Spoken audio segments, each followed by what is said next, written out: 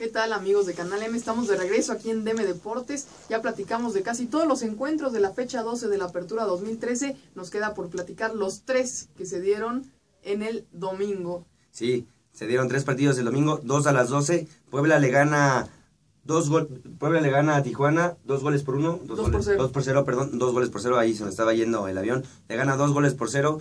Puebla que con, con este técnico el técnico de, de- de Puebla, perdón, eh, ha hecho muy bien las cosas en este en esta campaña, como local específicamente. Ya se ha hecho un local que, que gana el conjunto poblano y le gana a un Tijuana que es el peor visitante de la apertura 2013. Muy bien las cosas hechas por Puebla como local y parece que va poco a poco retomando confianza, ¿no? Sí, sí, sí, efectivamente, ¿no? Rubén Omar Román, Rubén Omar Román, perdón, amigos de DM Deportes. Tijuana que, que sí, la verdad es que ha perdido un poco ese punch que tenía, ¿no? En, en campañas anteriores. Eh, siendo visitante siempre había sido un, un- equipo que complicaba, un equipo que por ahí eh, lograba sumar. Y, y bueno, eh, ahora, pues bien lo dices tú, no es el peor visitante, se ve claramente reflejado en el resultado y en el accionar del encuentro eh, en Puebla. Y bueno, una franja que poco a poco me parece que Rubén Omar Romano va eh, transmitiendo y va inculcando este sistema que él presenta siempre en todos los equipos eh, que dirige, ¿no? Eh, así es que bueno, Puebla suma tres puntos en casa y Tijuana pues se va con las manos vacías y pues nunca es bueno, ¿no? Después de una derrota tener pocos días de descanso antes de enfrentar a un equipo fuerte como es el América y eh, pues bueno, en el Estadio Azteca todavía más complicado, ¿no? Sí, podrían ligar victoria, digo, derrotas consecutivas el conjunto de los Cholos. Y bueno, pasando al partido que se jugó en el Emesio 10, Toluca le gana 7 goles por uno, si no es partido de béisbol, le gana 7 goles por uno al Atlante, que, que ya con esto obviamente pasa al último lugar de la tabla general. El Atlante que recibe su peor goleada en torneos cortos con el, el técnico argentino Rubén Israel. Inexplicable lo que le pasa al Atlante, pero la verdad la actitud de los jugadores deja muchísimo que desear. A pesar de que vayas perdiendo 3 goles por 0, 4 goles por 0, nunca debes de dejar de luchar y eso es lamentablemente lo que se le vio al conjunto atlantista, al conjunto azulgrana el día de, el día de antier, perdón, el domingo que no, no, no luchaban, no luchaban, no, no se les veía esa mística, daban ya el cotejo por perdido, obviamente, pero debes de mostrar esa garra como jugador y el conjunto atlantista no la mostró. Siete goles por uno, me- mete gol, un golazo, por cierto, Raúl Nava, Sí, sí. el conej- conejito Brizuela también se hace presen- presente, el paraguayo Pablo Velázquez también se hace presente, tarde redonda para el conjunto de Saturnino Cardoso. Sí, y bueno, inexplicable, como bien dices tú, lo del Atlante, ¿no? Eh, Si bien en un partido normal, digamos que en igualdad de condiciones en cuanto a, a posición en la tabla y demás, nunca se le puede permitir a un equipo dejar de luchar, vaya como vaya el marcador, pues en una situación como en la que se encuentra el Atlante, ¿no? Que está último de la tabla general, último de la tabla porcentual, ya metiéndose en problemas serios de descenso, eh, pues ver la actitud de los jugadores, la verdad es que bien merecido el 7 por 1 en contra, ¿no? Eh, digo, la verdad es que es lamentable, Atlante aquí lo tenemos, eh, de 12 fechas lleva solamente un partido ganado, 3 empates y 8 derrotas, suma apenas 6 puntos y tiene una diferencia de menos 14, o sea, no nada más es que no anoten, sino que la defensa se hace agua, ¿no? Sí, menos 14 para jugar 12 partidos, tener una diferencia de menos 14 es imposible y, y aún así Atlante nos ha demostrado cómo puedes llegar a hacer una campaña tan mala, la verdad. Sí, cuando crees que no te puede sorprender, pues te sorprende más, ¿no?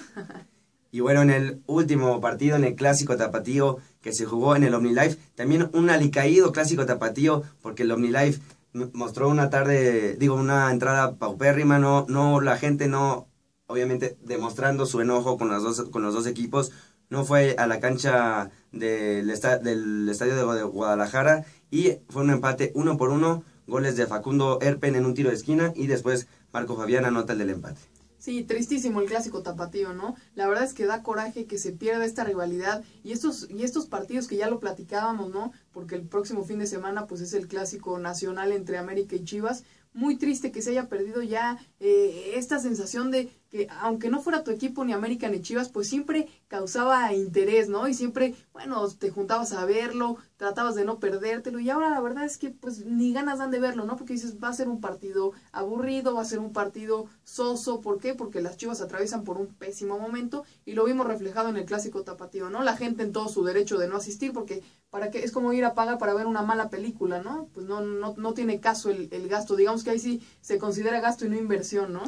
Y bueno, un uno por uno eh, que, digo, le da a Chivas la posibilidad de, de sumar un punto en casa, pero eh, pues bueno, sigue con una victoria nada más, cinco empates y cinco derrotas, suman ocho puntos, misma cantidad que suma el Atlas, solamente que el Atlas fecha 12, sigue sin poder ganar en el Apertura 2012, 2013, perdón, eh, y Pumas, Pumas ya ganó y Atlas sigue sin poder hacerlo. Sí, Pumas y Atlas eran los únicos dos equipos que aún no ganaban en el torneo, Pumas ya gana y Atlas se mantiene como el único equipo que aún no gana, como bien lo dice Fer, Fer aquí en el Apertura 2013, y también hay que comentar de las Chivas que no ganan con, no han ganado más bien en el presente torneo con Juan Carlos Ortega como director técnico, también una racha que bueno, pésima para el conjunto del rebaño sagrado. Y habrá que esperar noticias de Guadalajara porque se decía que si eh, Atlas no ganaba, el técnico Omar Assad, Omar estaría fuera. Estén, estén, atentos amigos de DM, Deportes para ver si cumplen lo que dijeron los directivos y el técnico argentino Omar Assad deja las riendas del conjunto atlista. Y ojalá que si es así, que el Atlas tome, tome una mejor decisión de la que hizo Chivas, ¿no? No tengo nada contra Juan Carlos Ortega, pero sí me parece que cuando un equipo supuestamente grande está atravesando por tan mal momento, bueno, pues hay que recurrir a un tipo que tenga experiencia, ¿no? Que, que haya pasado por situaciones similares de las que haya podido salir adelante. Y bueno, sin embargo, Chivas apuesta por un técnico que está comenzando eh, su carrera, digamos, en fútbol profesional a este nivel de, dirección técnica, ya no de auxiliar. Y, y, pues bueno, me parece que ahí la directiva pues eh, se equivocó, ¿no? Y ahora pues pagan las consecuencias. Sí, ah, ya no, no, no le ha ido bien a Juan Carlos Ortega y bueno, esta, así está la situación en el Apertura 2013, dodécima fecha de, de este torneo. Y bueno, ahora hay que pasar al fútbol del viejo continente, al fútbol europeo, en el que se jugó el derby madrileño en la cancha del Santiago Bernabéu. Y Atlético de Madrid, después de 23 partidos ligueros sin poderle ganar al Real Madrid, ligueros, hay que declarar ligueros, o sea, de la temporada regular en la, de la Liga Española, porque ya la habían ganado en la Copa del Rey en la final pasada le gana al Santiago al, Real Madrid en el Santiago Bernabéu un gol por cero con gol de Diego Costa, este brasileño naturalizado español que es un jugadorazo Diego Costa, realmente síganlo, vale la pena ver cómo se mueve dentro de la cancha.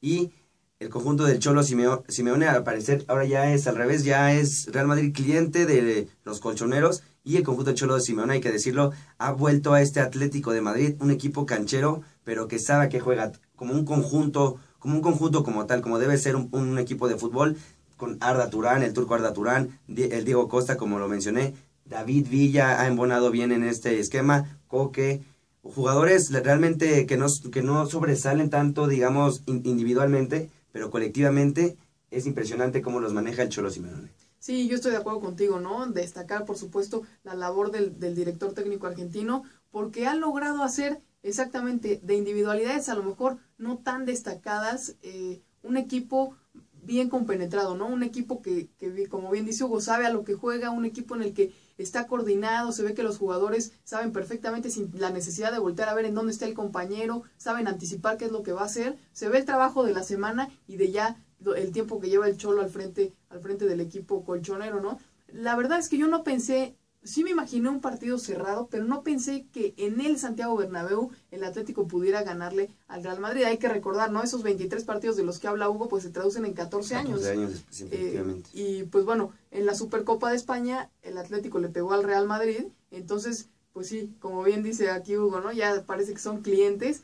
Eh, digo, siempre en un clásico de este tipo y de esta naturaleza, eh, el inmueble tiende a pesar, ¿no? Un poco más de lo que pesó este fin de semana. Y pues bueno, con este resultado el Atlético de Madrid pasa al segundo lugar de la tabla general solamente por detrás del Barcelona y el Real Madrid cae al tercer puesto con 16 puntos. Sí, ya son cinco puntos lo que le saca Atlético de Madrid y Barcelona al Real Madrid, que Atlético y el Barça tienen este, paso perfecto con siete victorias al hilo. Y también mencionar que Atlético de Madrid le hizo partido al Barcelona en, en la Supercopa de España pasada, aunque ganó el Barcelona porque con gol de visitante quedaron en el de vuelta 0 por 0 en el, en el Camp Nou, pero le hizo partido al Barcelona y lo hizo ver mal. Sí, claro. Y, y, y ahorita enfrentar al Real Madrid en el Santiago Bernabéu, la verdad, el, el Atlético le dio le dio, no una paseada en sí, pero sí dominó al Real Madrid Sí. en el Santiago Bernabéu, que también sorprende. Y mencionar lo de Carlo Ancelotti, que ya prensa española, prensa de,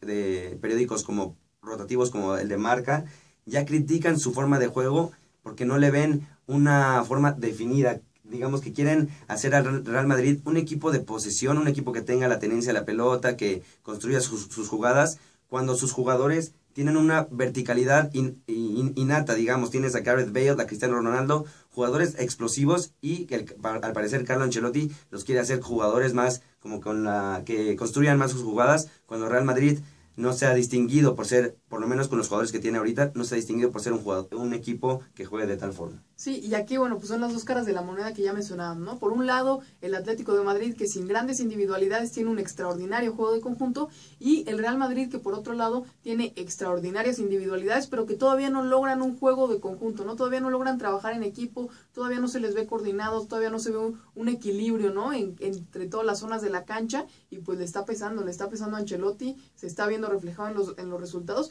y son cinco puntos que, si bien estamos en la fecha 7, se va a jugar la 8, eh, Pero ya son muchos. ya sí, ya son puntos que difícilmente conforme va avanzando el, el torneo se pueden recuperar, ¿no? Es una distancia que de- se vuelve difícil de acortar porque eh, evidentemente el, el Barcelona no va a permitir eh, o no se va a dar el lujo de perder puntos importantes, ¿no? Ahora el Barcelona, eh, como bien lo dijiste tú, de siete jornadas, siete ganados, le liga su mejor arranque liguero eh, en cuanto a, torneos de liga, como bien explicó Hugo hace un momento, se refiere lo hace derrotando 2 por 0 a la Almería. Desafortunadamente, Leonel Messi sale lesionado. Eh, al principio parecía que no iba a ser tan grave, después se dio a conocer que efectivamente presenta una pequeña ruptura fibrilar en el, en el bíceps femoral de la pierna derecha y pues bueno, esto implica entre dos y tres semanas de baja, entonces siempre pesa, ¿no? Porque estás dos, tres semanas inactivo, eh, tienes que volver de manera paulatina y pues bueno, vamos a ver qué tan rápido es que el astro argentino logra recuperarse y si puede retomar su nivel eh, sin tanto problema, ¿no? Porque siempre volver de una lesión de este tipo, sobre todo,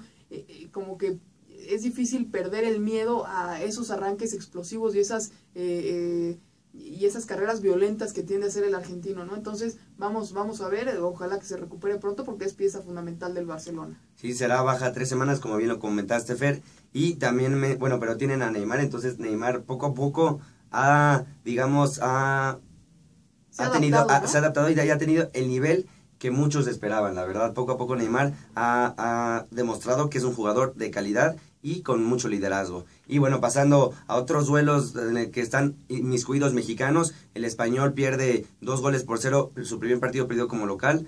En el Cornellá Prat pierde ante el Getafe. También Villarreal, que no, no había perdido en este certamen, Villarreal de Javier Aquino y Giovanni Dos Santos, pierde un gol contra cero con el Betis. Partidos que sorprendieron, pero bueno, primera derrota del Villarreal, el submarino amarillo, que se ubica en cuarta posición.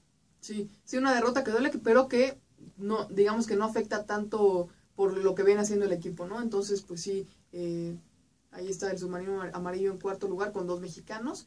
Eh, y pues bueno, parece que fue fin de semana de derbis, porque en la Serie A, en la sexta fecha, se jugó también el clásico de Turín, la Juve frente al Torino, la Juve que gana 1 por 0 con, con un gol de, de Paul Pogba, que pues desafortunadamente eh, se da, ¿no? Lo mete de cabeza y se da en un rebote que venía de, de un cabezazo en fuera del lugar de Carlos Tevez, entonces bueno, pues la, la bella señora se impone 1 por 0 en el clásico eh, de Turín con gol en fuera de lugar. Sí, y Carlos Tevez quien recibió una fuerte una fuerte falta en ese partido del italiano Im, Im- Ima- Imabuli, Imabuli, algo así, perdón, por la pronunciación, pero el de este argentino y sube la foto precisamente a redes sociales en el que se ve el tremendo golpe que recibió este astro argentino que ha embonado muy bien con el conjunto de la Vecchia Señora y también en otro partido la Roma le gana 5 goles por cero al Boloña. La Roma que ha iniciado también, como el Atlético de Madrid, como el Barcelona, su mejor arranque en el calcio italiano. Seis victorias consecutivas. Poco se hablaba de la Roma en la pretemporada, la verdad, porque es un conjunto que da una de cal y una de arena. Gana, le puede ganar a la Juventus un, un partido, pero luego perder contra el, el Chievo Verona, así contra Sí. conjuntos que no que no sobresalen en, en Italia y ahorita al parecer con figuras como Francesco Totti que a sus 37 años sigue siendo el, el, el capitano de la Roma, con jugadores como Gervinho que vino del Arsenal, la, Lajic, Lajic, este jugador serbio también que ha embonado bien en este conjunto, que dirige Rudy García, timonel de que estuviera en, en la Liga 1 de Francia y para parecer la Roma, por lo menos ahorita le puede hacer pelea, ¿no? Digamos a la Juventus. Sí, sí, totalmente. Y la Roma, bueno, pues como bien dices, ¿no? Con paso perfecto se ubica en la primera posición del calcio, seguido de la Juve y del Napoli, que están con 16 puntos, solamente dos por detrás de la Roma, pero la Roma que se ve solidísima, ¿no? O sea, no hay por dónde entrarle, tienen extraordinaria defensa, muy buen juego creativo, digamos, y bueno, en la definición son contundentes y letales, ¿no? Sí, son contundentes. Y bueno, pasando a lo que pasó en la Liga Premier rápidamente, el Chicharito inicia su primer cotejo en la liga inglesa después de anotar el, el darle la victoria más bien al Manchester en la Capital One Cup frente a Liverpool. Inicia su primer partido, juega 58 minutos, pero lamentablemente para él no se hace presente en el marcador y Manchester United pierde sorpresivamente dos goles por uno frente al West Bromwich. Así es, eh, pues sí, ¿no? Eh, nosotros decíamos cuando salió Chicharito y que entró Robin Van Persie, ojalá que no anote Van Persie porque si no lo van a sentar otra vez al Chicharo, ¿no?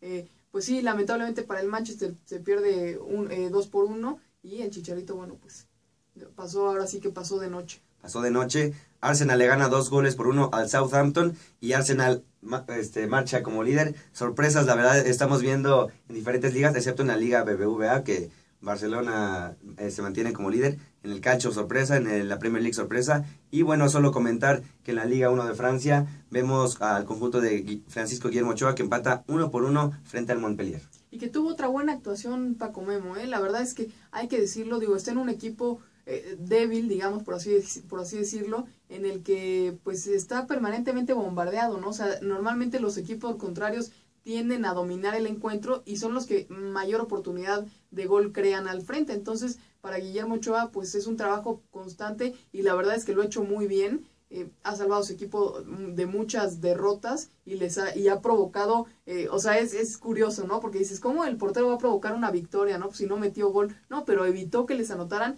en repetidas ocasiones. Entonces, ha mejorado. A mí todavía no me termina de gustar este juego de área que tiene, las salidas por arriba. Siento que todavía le falta mejorar y, y afinar eh, en esos dos puntos. Pero en cuanto a reflejos y en cuanto a y en cuanto a, a, lanzamientos y en cuanto a recorrido de portería, me parece que, que, lo hace lo hace muy bien, ¿no? Sí, lo hace muy bien. Yo, yo siento, la verdad, ya me está ganando ahora sí que el sentimiento, Ajá. que Francisco Guillermo Ochoa deberá iniciar contra Panamá, que ya, ahora sí eh, al parecer ya arregló sus conflictos que tenía, al parecer, con el Chepo de la Torre, porque ya no estaba efectiva, eh, obviamente. Y bueno, al parecer ya estará y yo siento que deberá iniciar contra Panamá, pero bueno, eso fue lo que pasó en el fútbol mexicano y fútbol internacional. Ahora, ¿qué vamos a pasar, Fer? Pues, ¿qué les parece que tocamos un poquito de, de béisbol? Porque, bueno, todos recordamos que Alex Rodríguez, ¿no? Este pelotero de, de, los Yankees de Nueva York, fue sancionado por estar ligado con eh, la clínica Biogénesis que se dedica, bueno, pues a repartir, digamos, sustancias prohibidas, ¿no? Y que, bueno, se le, se le ligó a, Alex Rodríguez con este, con este tipo de, de, situaciones, entonces se le castigó con 211 partidos. Él apeló y el día de ayer, lunes 30 de septiembre, pues bueno, inició todo este, todo este juicio de apelación y él dijo, yo voy a estar presente en todos eh, los, los días que, que se tenga que, que, estar porque estoy luchando por mi vida y por mi legado. Entonces, vamos a ver qué pasa con esto, ¿no? Si él hizo las cosas mal y si él está verdaderamente intoxicado eh, con este tipo de sustancias, pues va a tener que cumplir con la sanción, ¿no? Y entramos en el tema de béisbol, vamos a ir un corte y de regreso tendremos todos los resultados. Los exactamente. NFL y, Y además tenis. exactamente. No se vayan amigos de DM Deportes, volvemos.